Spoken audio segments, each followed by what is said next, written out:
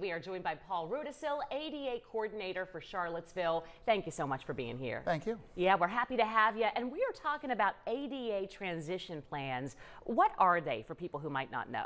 Well, ADA transition plans are required by the federal government under Americans with Disabilities Act. Any locality with more than 50 employees is required to have one.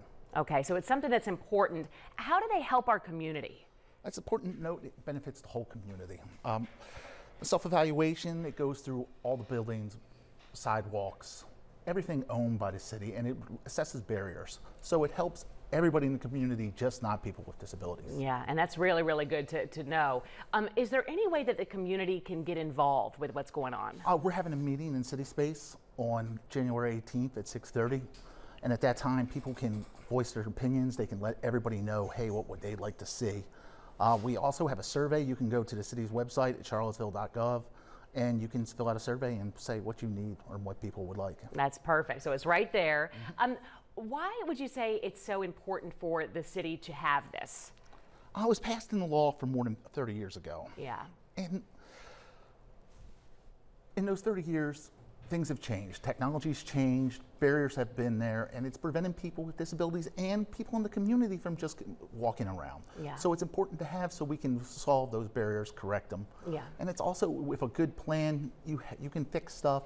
It saves taxpayer money because you're planning everything ahead. That's so true. It's just better all around. Um, so where is the city in the process right now? What would you say the next step is? Uh, the city's completed all of our sidewalks. We've completed all of our parks. We're doing uh, next. We're going to do all city owned or rented public buildings and we're doing evaluation of all the city programs. That's great. So it's a lot of work, but it's it's worth it. Um, and what happens after all of this is complete, wrapped up? Well, a transition plan's never finished. It's a living document. So every year we can continue to assess, update, find barriers, and correct them. All right. Perfect. Uh, finally, how should cities um, update their transition plans? How should other cities do this? Uh, cities should they should evaluate their programs. They should get in contact with their ADA coordinator and they should go through their programs and they should go through their buildings and they evaluate based on the latest federal standards. All right, good stuff. Uh, and what, why is Charlottesville, why have they decided it's important to update this plan now? Our old plan's over 10 years old and the gold standard is you want to do one every five years. Technologies change, laws change. So if you don't improve, you're going to be behind and it's going to make things inaccessible for people.